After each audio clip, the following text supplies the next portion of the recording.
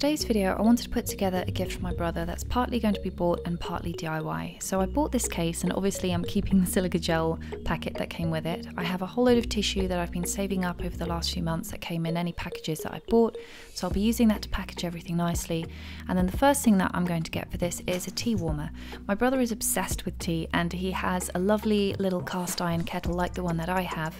So I thought I'd get him a tea warmer, two teacups that match it, and then the DIY part of this is going to be for the teas themselves. As a lot of you know, I have quite a big herb garden that is growing bigger every day.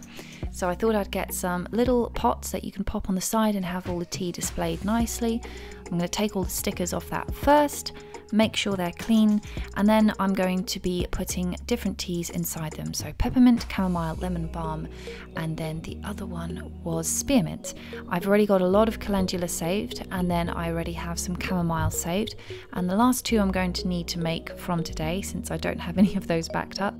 To try and make this whole gift set look as cohesive as possible, I'm also going to be painting the lids. First thing I'm going to do is clean them. I'll be putting the chamomile and then the calendula into their respective pots first, making sure that it's all nicely stacked up. I don't want to pack loads and loads of plants in there. It's got to look nice and fluffy. I'll put the chamomile in there as well, and then once that's done, I'm going to move on to painting the lids. Since the mugs and the tea warmer are black, and then also the kettle is black as well, I'm going to be using that black paint that you've seen me use so often in my last DIY videos and I'm going to be painting the lids. I would have liked to do a little Calamondin tea and using the citrus but at the moment I only have one Calamondin and the rest are still at the very early stages of growing so that wasn't going to be possible. But moving on to the lids I'm going to be doing a few coats of this. I'm just using a fan brush, it's a little bit easier to get the edges if you have a fan brush and I'll be doing three coats. This dries very very quickly so in between waiting for this to dry, I'm going to collect the leaves that I need for the last two teas, which are spearmint and peppermint. First coat is done, so now moving on to the peppermint. At this time of year, which is late autumn moving into winter, the peppermint and spearmint does tend to look a little bit rough. The best time for me to get this would have been in spring or even summer, and at the moment they're just looking a little bit weathered battered, so I'm picking out the leaves that look the nicest. There's nothing wrong with the other leaves, they just don't look as nice aesthetically, and if I'm putting a gift together for someone, I want it to look nice. So I'll pick out all the nice leaves for the peppermint and then do the same for the lemon balm. If there's anything which is just looking a little bit battered or has maybe had a bug getting to it, which does happen, the slugs do seem to like the spearmint in particular, but I'll pick out those leaves, only keep the nice ones put everything out on the dehydration tray, dehydrate it, and while that's dehydrating, I'll put a second coat and then eventually a third coat. I'm quite excited to see how you react to this video because I am going to hopefully be doing more and more of these, especially on the lead up to Christmas. This year I think I'm going to be making a lot of the gifts myself for friends and family rather than buying them, partly for budget and partly because I enjoy the heck out of it. And now that we've got the garden more sorted and I've got a lot more things growing and that I'm able to make directly from my garden, that's something that I've always been looking forward to doing for a very long time. So I want to take full advantage of that. So let me know if this is the kind of video that you like. And if you have any requests for the kind of themes that you would like me to do, feel free to leave that. I'm always happy to get more ideas to make new videos.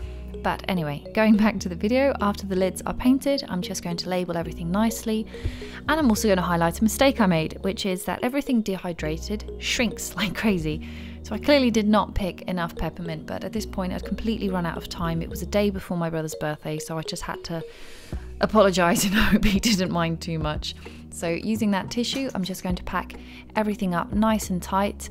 I'm also going to be adding a little tea light into this since you need a tea light in the tea warmer to use it and it's a bit awful if you give someone a gift and there's a part that they need to get. I just like to give everything in a nice big unit that just works right from the get-go. I'm going to pop those teas in right next to each other and I'm going to try and alternate so that the really packed full jars are next to the slightly lighter ones so that it doesn't look so obvious that the peppermint is really not as full as it could be.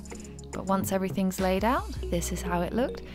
And while it wasn't the biggest project to do, I was very happy with it, and my brother was very pleased with it as well. So, overall, I think I hit my target of a nice present for his birthday.